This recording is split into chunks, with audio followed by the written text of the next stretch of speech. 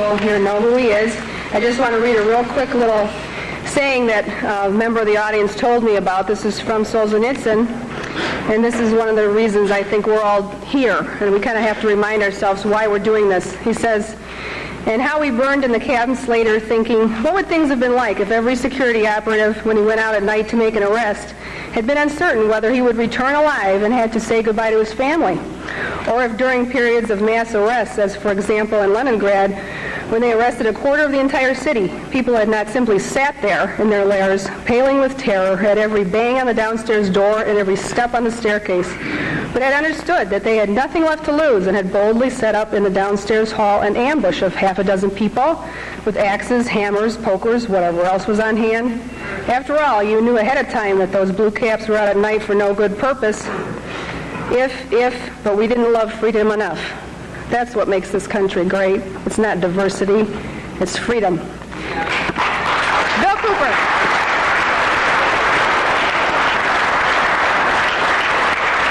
Thank you, Connie. Uh, thank you.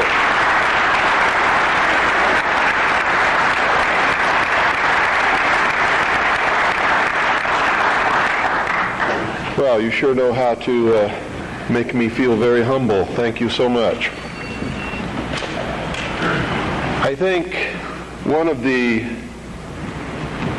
biggest misconceptions in this country is what this country is all about, who founded it, for what purpose, and most specifically, what it is that we're all looking for.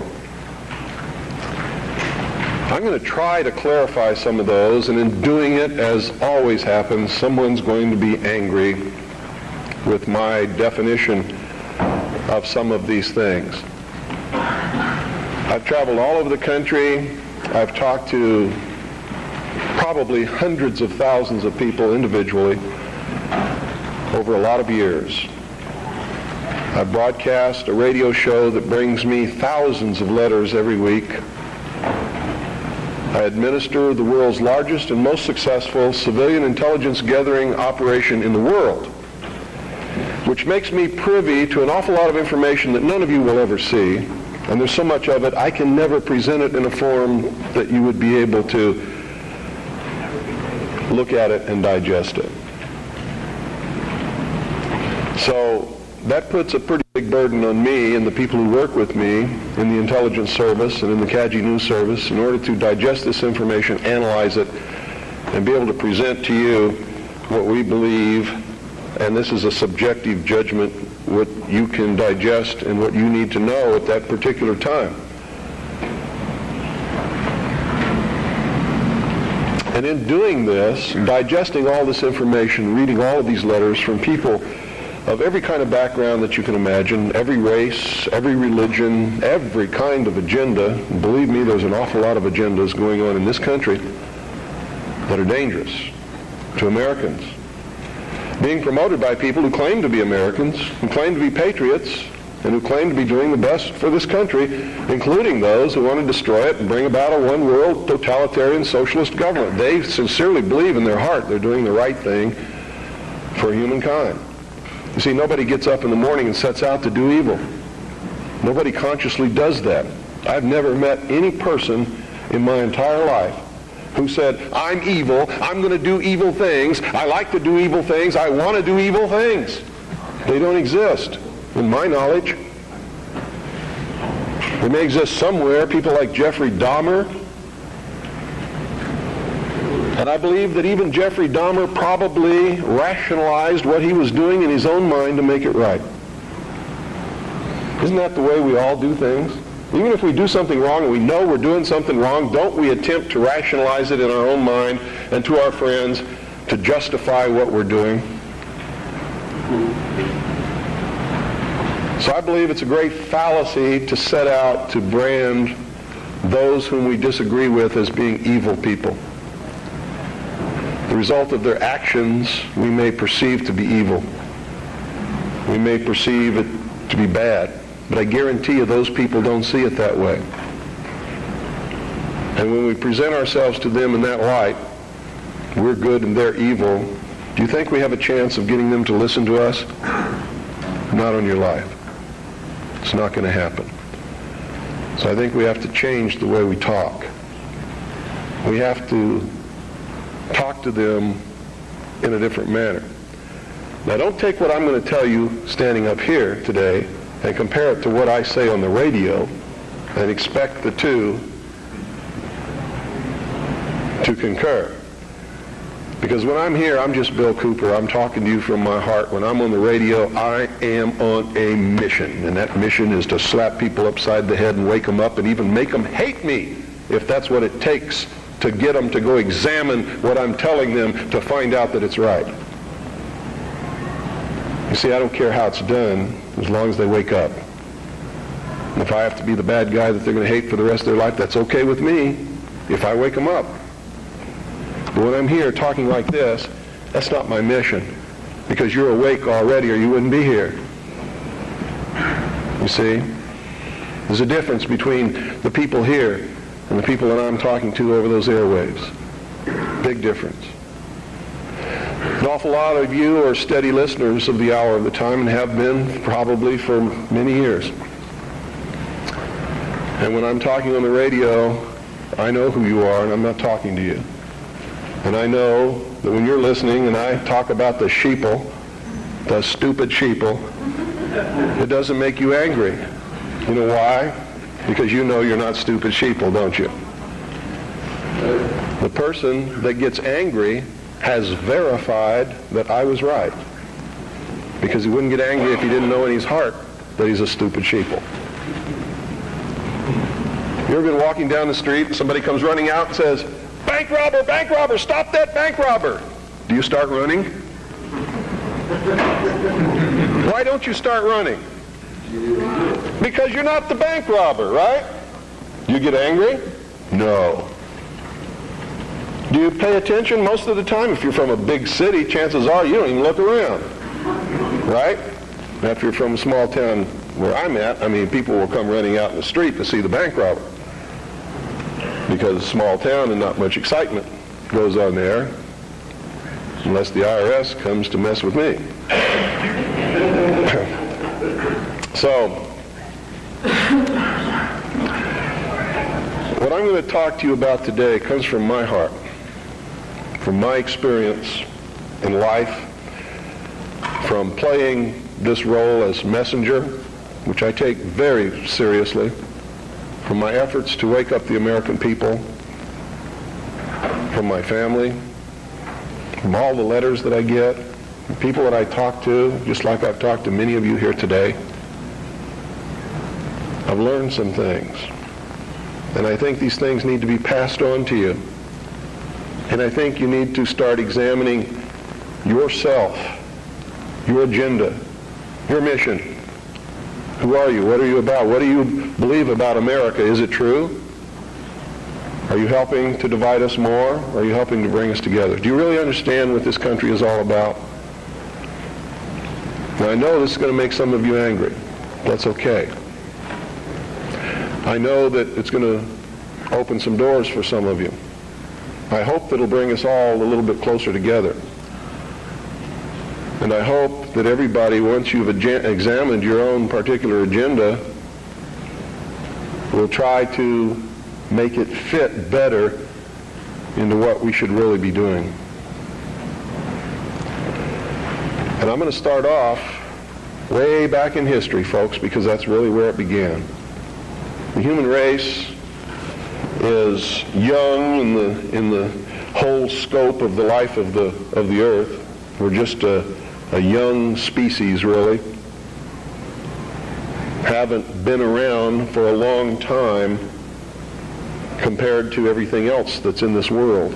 And I'm not talking about biblical years, and I'm not talking about theory of evolution years. I'm talking about from the time when you can see that man emerged on the historical scale of this world and began to affect other species and the world that we live in and himself by perfecting the ability to think. First original thought. See, there used to be a time in history when man was just like all the other animals, he didn't think, he didn't know good from evil. He existed and lived by instinct just like the other animals did. If you want to believe the record that we can look back and see written in stone. Okay? If you want to believe that there were creatures that ultimately became this thinking man that you see standing up here in front of you and sitting out there amongst you, didn't have this ability. Now, if you doubt that, read Genesis in the Bible and you'll see that it's confirmed there. Wasn't there a time when Adam and Eve lived in the Garden of Eden? They were not to think. They did not know good from evil. They were just there to take care of the garden. Is that correct? So this concept and the biblical concept agree. Man just enjoyed what God had put there and sort of took care of the garden. Any dentist will tell you that our mouth was not made for eating meat. So ancient man most probably ate vegetables and nuts and things like that, roots. Doesn't mean that I'm telling you to become a vegetarian because I'm not. You see, I really believe in freedom. I believe you should eat whatever you feel like eating. That's your business. But that's known to people who study these things as the age of innocence. Something happened that brought man out of that state, and if you're talking from a biblical reference, out of the Garden of Eden and into the world. He wasn't innocent anymore. He understood that he was naked, and that his partner was naked. He could think. He could look around. He knew when something was good and when it was bad, just as we all do here. When somebody comes up to me and says, well, how do we know which is the right way to go? I know that person is setting me up to justify his bad deeds, and I won't do it. You always know. We always know which is the right way and which is the bad way. The bad way sometimes feels better, so we may choose that way and justify it by rationalization in order to make ourselves feel better about the bad that we did. In the mystery schools, they refer to this mystical time of coming out of the age of innocence as the Luciferian philosophy. I've tried to illuminate you with this for years on my radio broadcast. In the Bible or in the church, they talk about the fall of man. Same thing. There's only one difference between the Luciferian philosophy and the fall of man is that those who talk about the fall of man believe in God, whether or not they believe in a Savior, they believe in God. The ones who believe in the Luciferian philosophy do not. Now here's how that works. In the Bible, we're told that Eve was tempted by Satan to eat of the fruit of the tree of knowledge of good and evil. God had commanded Adam and Eve not to eat of the fruit of that tree. If you do, ye will surely die. Isn't that the commandment? Lucifer, through his agent Satan, on the other hand, told Eve, God lied to you. He's holding back the fact that you too can become God. But first you have to eat of the fruit of this tree. And if you do, you will surely not die, but shall become as gods. Isn't that true? So, on the religious aspect, we see that as the fall of man because man disobeyed God. We see that as the subjugation of the woman beneath man where she had originally been the partner. Now she is subjugated beneath man because she was the agent of man's downfall. Is that correct? Now, I'm not talking right or wrong. I'm not trying to insult anybody in here. I'm just telling you what we're taught. So that we all understand what we're talking about because that's most important. If you understand something differently than what I'm trying to impart to you up here, and we don't have the same definition, we're not going to understand each other, are we? The mysteries, on the other hand, look at this in a different light. Here's their story. It's a metaphor. They don't believe that there ever was a God or that there ever is a God aside from man himself. And man has not reached that state yet, but can, this is what they teach in the lodges, that if you perfect yourself as the temple of the God within and become Christed, you've all heard this in the New Age movement, you too can become God. In her movie, running on the beach, spinning around, I am God. Go ask her early in the morning when she just wakes up and goes and sits in front of the mirror and looks at her aging face and tries to cover it up with makeup if she's God. She may tell you a different story about that time. Around noon, she might be feeling better and become God again. But this is the reality of the human condition. We'd all love to be gods, wouldn't we? My question to Shirley MacLaine at one time was, please, Shirley, could you make me a universe? She sort of looked at me with this hurt look on her face as she confronted her mortality and realized that she was not God because she could not make me a universe. She couldn't even make herself a universe. She can't even make herself look young again. She's having a hard time paying some of her debts. God doesn't have that problem, does he? And in her case, she. Here's the way they look at it. Here's their metaphor for the end of innocence. Adam and Eve were held prisoner in the Garden of Eden by an unjust, cruel, and vindictive God.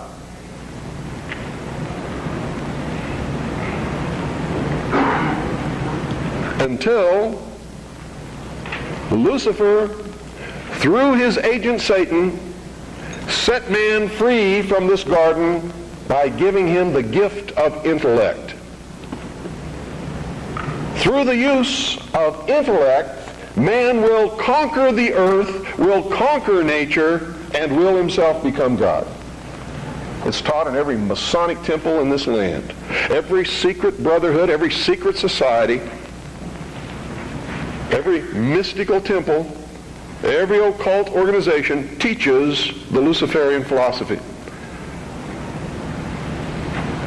They do not believe in Lucifer. They do not believe in any entity called a devil, and they do not believe in God. It is a mistake for you to assume that they do. They are atheists in the strictest sense of the word. They are humanists. That's their religion. At the highest level, their goal is to create a world in which the adepts, the thousand points of light, working behind the veil to create the culmination of the great plan, can realize the ultimate happiness for mankind. That's why they don't oppose pornography. That's why they don't oppose certain crimes.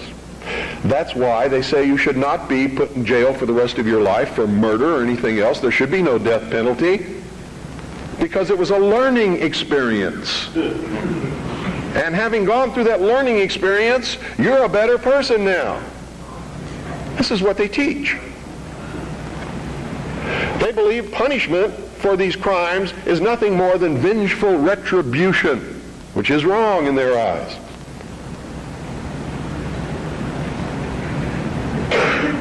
So these are really the two philosophies that we have competing with each other in the world today. Who brought man the gift of fire? Prometheus. Who was Prometheus? Lucifer.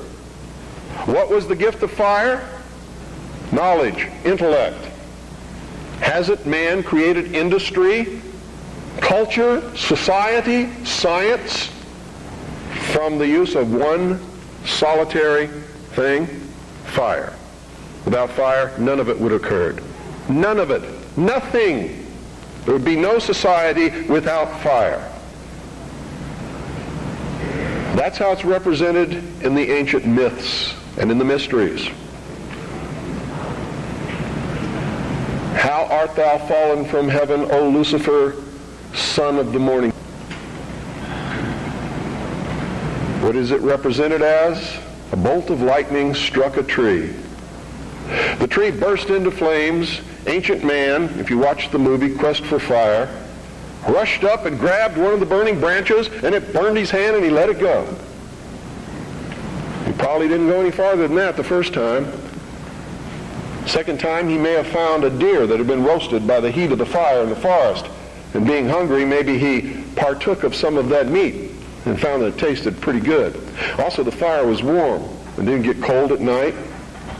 And this is where the whole battle between the forces of light and darkness comes from. Man sat up on a rock one night watching the sunset and said, boy, I'm in deep trouble now. I can't see in the dark. There's wild beasts out there. There's tigers with teeth seven inches long that want me for dinner. What am I going to do? He didn't know what to do.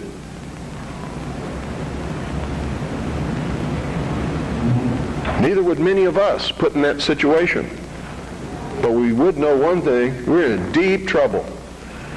And so for a good part of his history, man sat huddled in the darkness in some place that made him feel secure, waiting to be saved.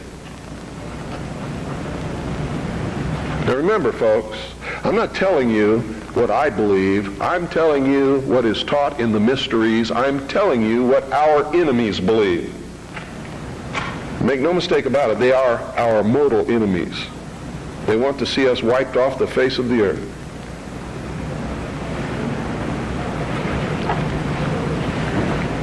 Man huddled in this darkness, fearful, trembling, cold, hungry.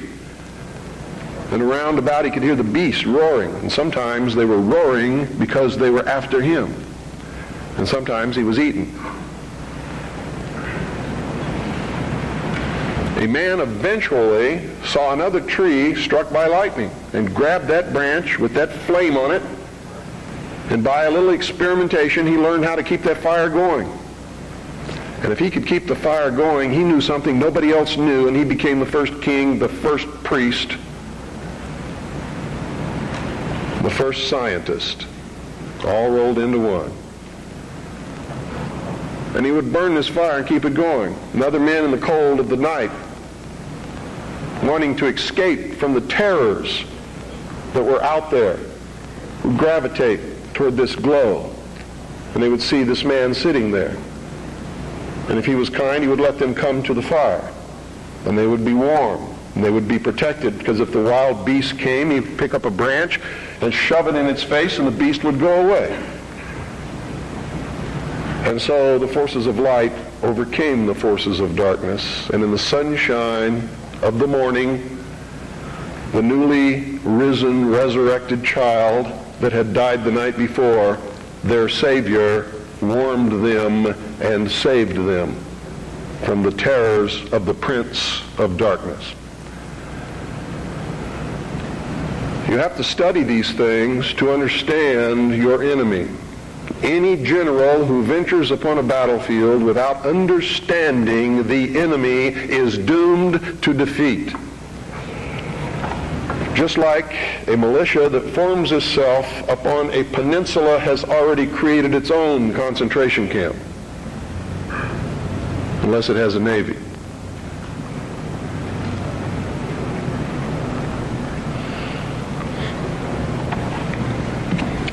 Damn good militia, I might add.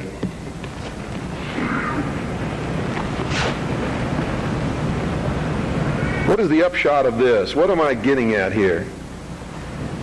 These people believe and they have conducted themselves according to their belief and their philosophy since the very dawn of man. These people learned how to control others through the use of a hidden knowledge.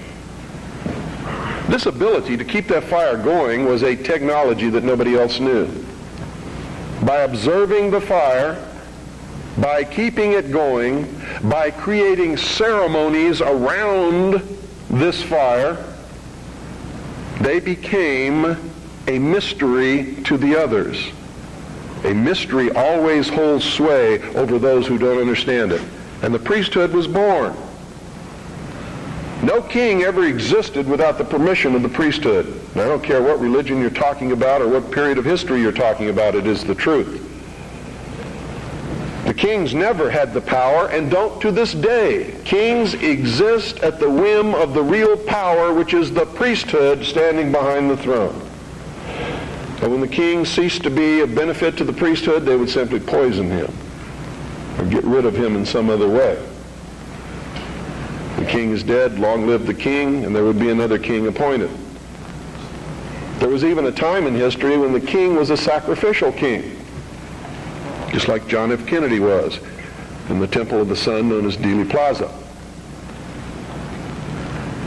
They would pick a young man at the height of his virility appoint him king for one year. During that time, he could do or say or command whatever he wanted. The priesthood was always there to make sure he commanded the right things.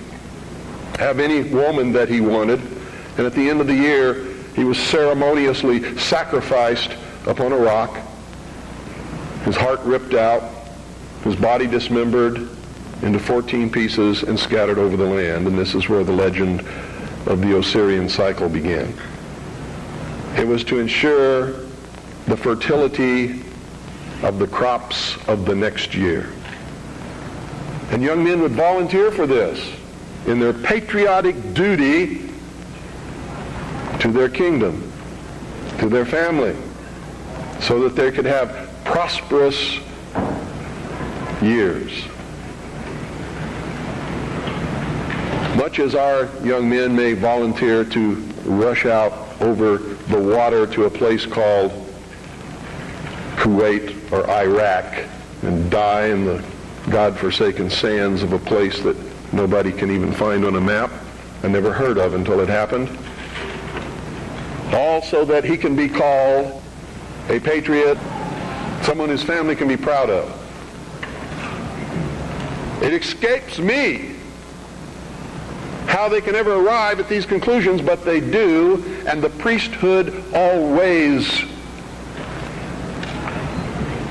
takes the most advantage of this willingness to sacrifice oneself upon the altar of his country. Problem with it is, it's very seldom really for the country. It's for the advancement of the agenda of the priesthood, whoever the priests happen to be at the time. Am I attacking the church? You better believe it. All churches, all organized religions that have existed since the beginning of the time. Am I attacking the religion of individuals? Never, not on your life. He wasn't trying to create a big church. He knew what happened to those things. And you're all wrong about that man. When you say you shouldn't get angry. You shouldn't curse. You shouldn't do things that upset other people because that's what Jesus spent his whole life doing. He threw the money changers out of the temple. Don't you think that made some people angry? Don't you think it was rude to walk up to somebody's place of business, smack them in the mouth, grab their table, and throw it out the door? What about the time he cursed the fig tree? You know, pious Christians sometimes make me very angry. They don't even know Christianity. They don't know the man they're following. He was a revolutionary. He was a dangerous man. And by God, so am I. And so should you be. This country was founded by dangerous men. And the moment the people in this country cease to be dangerous men, it's going to be the day we cease to have a country. Their whole goal with this philosophy is to teach all men and women that the only end of life is to seek the utmost pleasure and happiness that you can get out of it because when you die there's nothing else. That's what they teach. That's what they want you to be. They don't want laws against sexual promiscuity. That's why they don't want families. That's why they don't want marriage. That's why they encourage homosexuality. There's a method to their madness. There's really not much method to yours because you're operating from a place of ignorance. And until you change that, you're going to be bumbling around, bumping into each other, saying and doing the wrong things, not understanding the nature of your en- enemy. And if you don't understand the nature of your enemy and the weapons they use, you cannot fight that enemy. You can't fight the battle. You shouldn't even be on the battlefield. That's why you're losing the war. And don't tell me you're not, because I'm in a place of great knowledge about who's winning and who's losing this war. And I can assure you, you're losing the war. Doesn't mean it can't be turned around. But it'll never be turned around until you learn what you need to know. You don't even recognize half the weapons that they use against you. And some of them seem so insignificant that you don't even try. They want to create a world where everybody is happy all the time. Doing all of the things that, if you're from a good religious upbringing, is wrong to do. If you're not from a religious upbringing, but you have a good brain and you understand the purpose of morals and ethics, it's still the wrong thing to do. If you're a thinking person. And then the priests had an army. Oh boy, weren't they happy with that? Their whole purpose throughout history has been to teach a small number of people how to become adept at controlling everyone else and presenting their societies as desirable to the profane so that you'll go knock on the door and say, hey, can I be a member and be initiated? With the promise of learning some great secret. What is that secret? The secret is what I have just told you this morning. The secret is how to control everybody else. And you never understand how to control everybody else until you get to the top of this pyramid of initiation. Most people never make it past the third step. All above that are carefully chosen and nurtured and taught. And Americans, for all these years, have been looking around for the enemy. They've never been able to find an enemy. So those who control them were able to control them even better by giving them an enemy. That's what Stalin and Churchill and Roosevelt determined at Yalta. Who was going to be the enemy post-war? Turned out to be Stalin. And there was going to be this phony Cold War so that the population would never discover the real enemy. And I'm talking about the population of the Soviet Union as well as the rest of the world. You see, the enemy has always been here. It's your uncle, your aunt, your father, your mother, your brother, your sister, your nephew, your nieces who belong to the fraternal orders collectively known as the mysteries. The very highest degrees of which, combined together, make up a secret order known as the Illuminati. Their goal is to destroy all existing religions save theirs all existing governments save theirs and shackle the mob in a system of eternal oppressive debt chained to a computer for the rest of their life in a propagandized world to make them believe that they are happy in this system. Now, do you think they're succeeding? Haven't I described to you just now exactly what is going on in the world today? Yes, they're succeeding. They're succeeding because the American people don't understand their enemy. They don't even know what's happening. People were extolling the virtues the virtues of Pat Buchanan and actually considering voting for that man for president, and he sent them all a postcard. And on the front of that postcard, he identified himself as a high priest of the mysteries because on the front of his Christmas cards that he sent to all of his followers was the penis of Osiris, the phallus, the obelisk, with a nice red bow tied around the base which represented the testes. You know what he was saying to you? Are there any children in here? Was saying, he was laughing at you. And so was every other member of the Illuminati.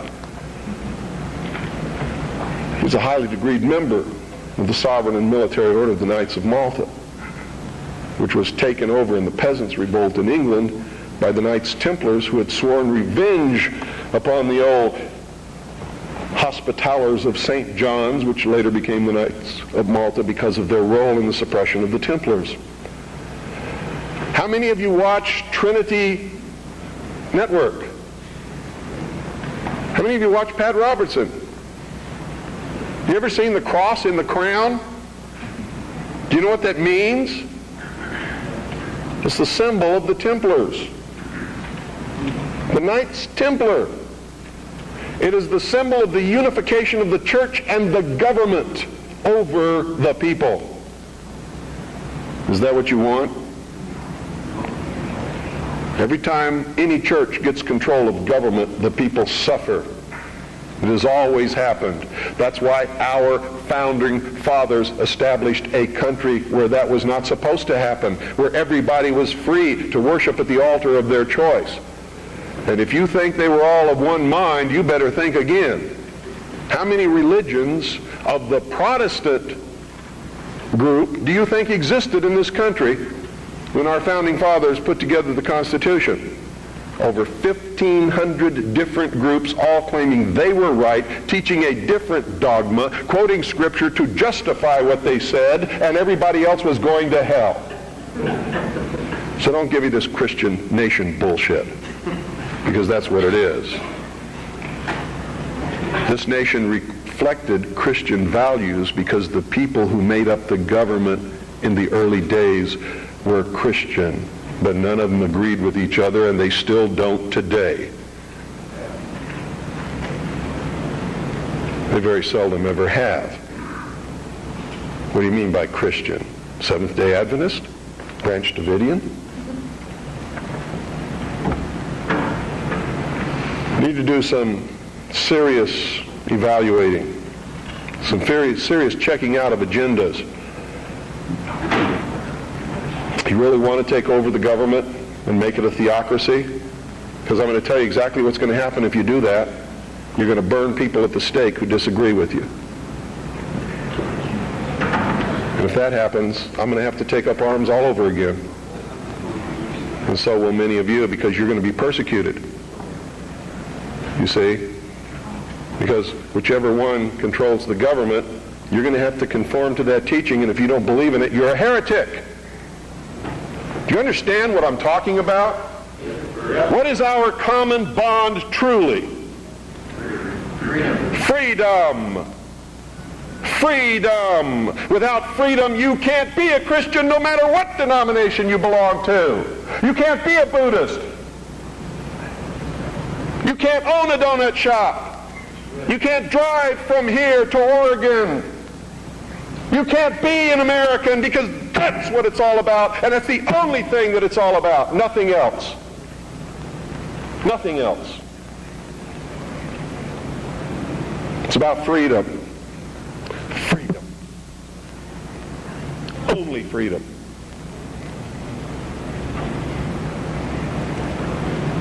It means you have to let other people be free, even if they disagree with you. I had a tremendous admiration for the courage of those two communists who had the guts to walk up with their little communist sign and their communist flag. Two of them, young people, all alone, in that sea of America, militia, uniformed patriots. And I saw people who wanted to kill them.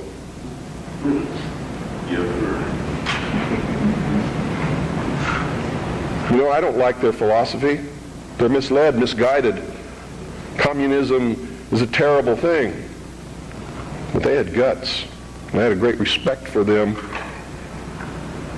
And I believe in freedom, which means there is no way in the world that we could have had that meeting on your state house grounds this morning unless they had the right to do what they did. Then you had better understand that.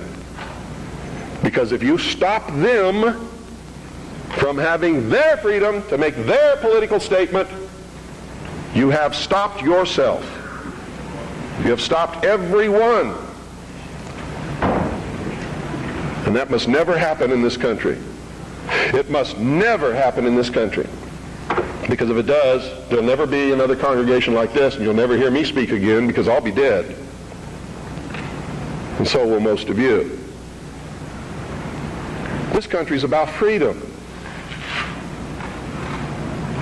Because only with freedom can you have all of the other things that everybody professes that they want.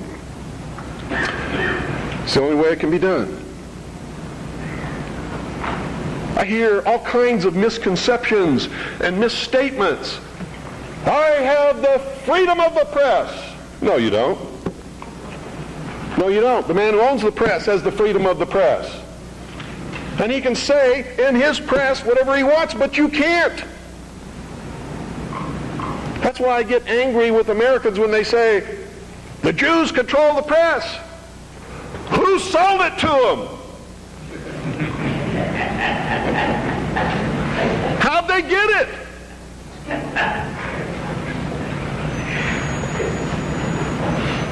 You want the press? Start a press. You want to be on the radio? Do it. But stop whining. Stop bitching. Stop complaining.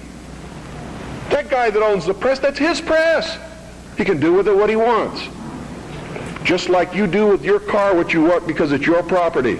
He doesn't owe you anything unless you've got a contract with his signature on it that says he will print what you say.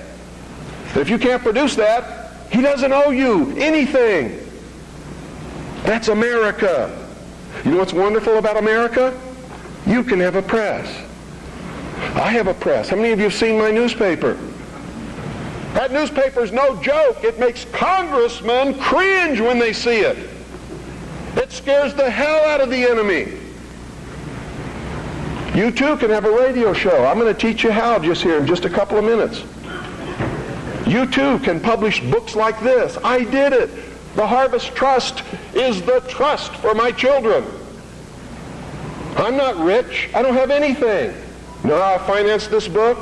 I sold copies before it was printed to people who believed enough in me to buy them. I don't have any money.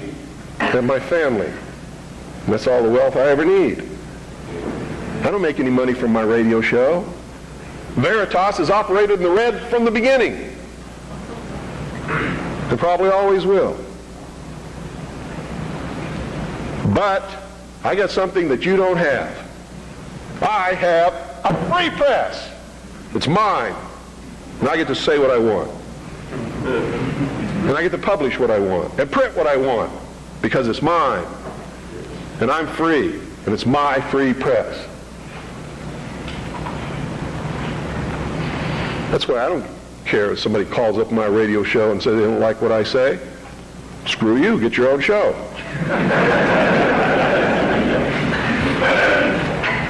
I don't care that they complain because I won't let them talk on my radio show. Screw you. Get your own radio show. This is mine. Belongs to me. I don't have any contract with you. I don't owe you anything. I was speaking in California one time. A lady stood up in the middle of the crowd and said, You make me so angry. You're a terrible man. Why didn't you tell me this years ago? She was lucky I was telling her then. I didn't know her anything. But she blamed me because she didn't have the information that I was imparting to her on that day years ago. And I had it years before that. I didn't know how to do it. I would have. Oh, God, I would have. You don't really understand sometimes what a terrible burden it is to know some of the things that I know and try to wake people up and impart this knowledge to them and find out that they just have walls built in front of them. They want to be slaves. But we're making some chinks in those walls. You too can have a free press, and that's what it's going to take to get this country back without bloodshed. And I'm going to tell you right now, unless we can be successful in creating a real free press where the American people get different viewpoints other than those expressed in the establishment-controlled media, there's going to be a civil war in this country, and it's going to come soon. The only thing that can stop it is by waking up vast amounts of sleeping people. Sheeple is what they are. They are following the Judas goat right into the shearing pins, and from there they will go to the slaughter, and they will not know that anything is wrong until they smell the blood of the sheeple in front of them.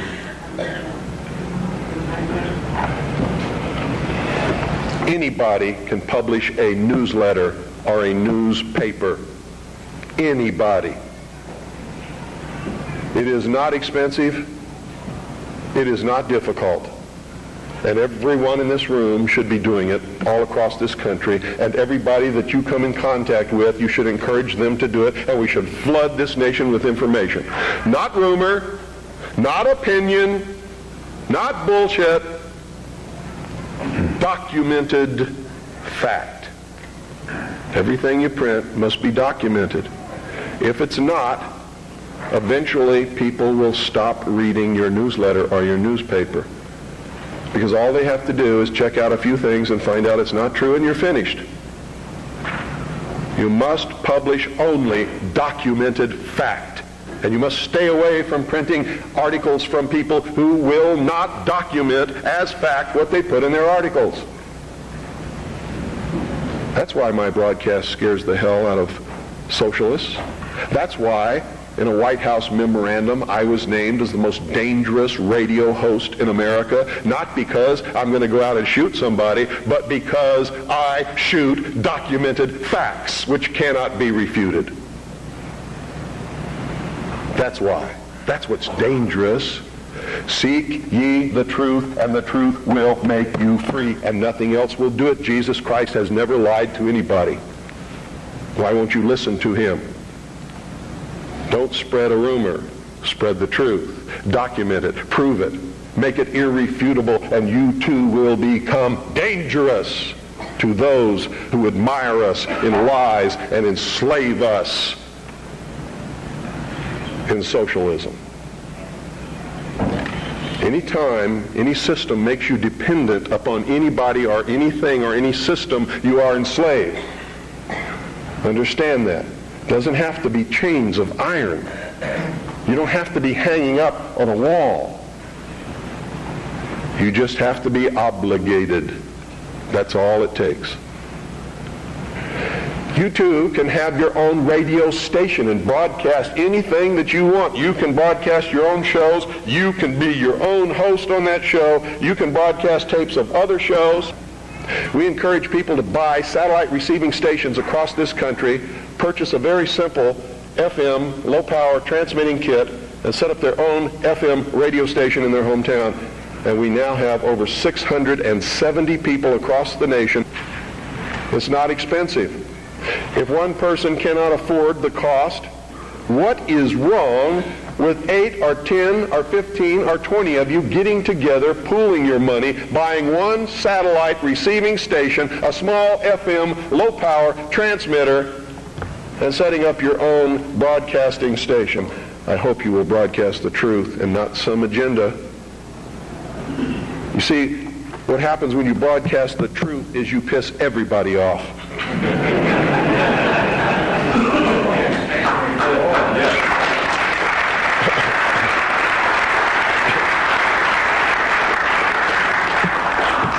If you don't have my address, I want you to write it down. It's the Harvest Trust. P.O. Box 1970. I'll repeat it a couple of times. Eagar, Arizona. Eagar is spelled E-A-G-A-R. Arizona 85925. That's the Harvest Trust. P.O. Box 1970. Eagar, Arizona 85925. If you have purchased Oklahoma City Day One, it's on the back cover at the bottom. If you don't have a pin and you would like to have the address, you can go up to my wife's table upstairs on the second floor and get one of our flyers. The address will be on the flyer.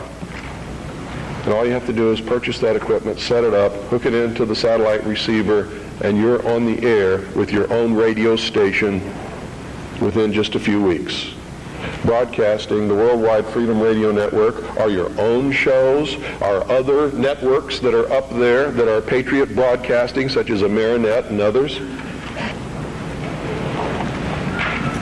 Understand this too. I'm not trying to tell you what the truth is because sometimes the truth is extremely difficult to find. And sometimes we believe we're broadcasting the truth and it turns out we really aren't. But if we find out we aren't, we must be willing and instantly able to go on the air and say we were wrong and correct it. That's a responsibility that we all have to carry. It's embarrassing. I've had to do it several times because I'm a human being. I make mistakes too. The only difference being when I make a mistake, it's usually not forgivable. It's what happens when you become a public figure. Your wife can make a mistake, but Rush Limbaugh never. Right?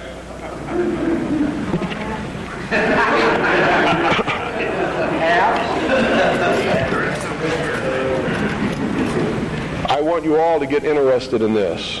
All of you should be publishing a newsletter or a newspaper. All of you should be documenting what you publish.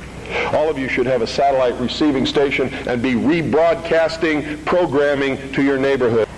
All you got to do is make sure that you're broadcasting on a frequency that's not interfering with any other broadcast. Which means you don't just check it at your house. You get in your car and you drive out 25 miles and all around and you make sure that there's nobody else on that frequency before you use it. So you know you're safe. In my little town of Eagar, which is a very small town, between Springerville and Eagar is two miles.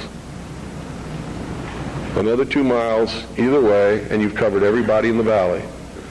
And I'm up on a big mountain in the middle of this valley where the town surrounds the mountain, and I'm broadcasting six miles in every direction in my town. And it's militia country. Arizona is dangerous for socialists. And when the war starts, heaven help whoever they send to fight in Arizona. Because it's still really kind of like the old West days in a lot of places. It's dangerous. Where I live, Ike Clanton made the sheriff angry one day. The sheriff rode 25 miles, grabbed Ike Clanton by his hair, and drug him to jail by his hair. Which brings me close to the end of my, I think it is. How much time do I have? Three more hours. uh, come back after Jim talks a little bit and talk some more?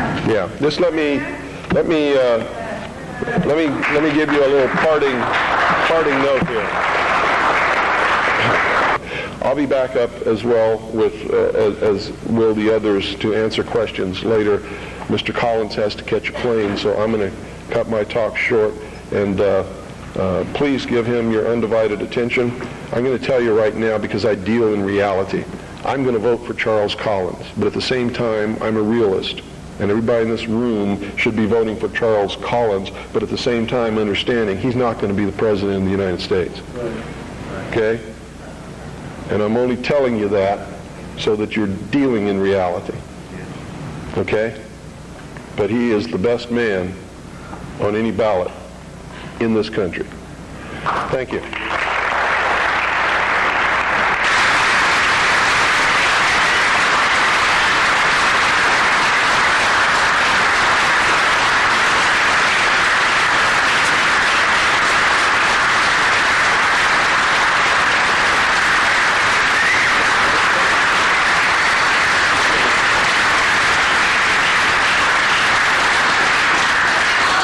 To, um, uh, give a round of applause. This is the man that designed the No UN flag, John Sorensen.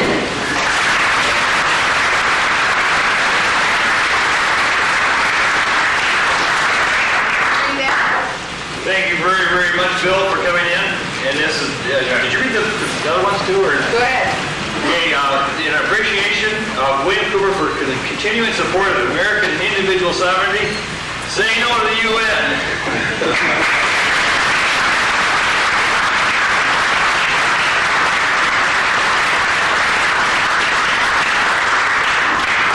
I had this crazy dream about some folks who love this country who all began to dream the same dream. And when the morning came, there arose across this nation people thinking one and the same. And they awoke to find their freedoms and all their liberties had gradually been taken to their posterity, I heard those patriotic people say,